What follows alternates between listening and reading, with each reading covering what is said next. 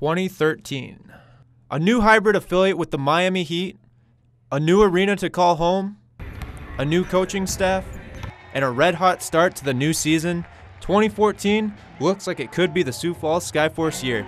Uh, as a team, they're really coming together collectively. Uh, every day, trying to get better as players. They really bought into what the culture we're trying to do and the philosophies we're trying to run here. And uh, we're just excited to have this good group of guys here and represent the city well, represent the Heat organization, obviously the Skyforce as well.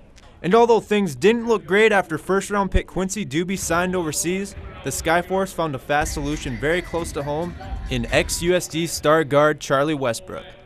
They want me to help this team. They want me to come in and make a big impact on this team. And I'm here to do that. I'm here to fight with these guys. This is a good group of guys. I'm happy to be here. We had Charlie in Miami doing training camp. We really enjoyed having him around. Uh, real explosive athletic scorer. And with the help of Westbrook and NBA prospects DeAndre Liggins and Justin Hamilton, the Skyforce entered 2014 with 11 and 3 record and high hopes of a deep run. We're just constantly trying to get better every day. As I mentioned earlier, it's a long season. We want to take it one day at a time, never get too high or too low. Uh, one of the great things about the game is basketball. There's usually a game tomorrow, if not tomorrow, soon after. So uh, we just want to showcase what we can do in our games, but the, show the case, showcase the work we've done during practice and skill development sessions, and uh, hopefully it pays off for our players. With the Sioux Falls Skyforce, Patrick Hills, KSFY Sports.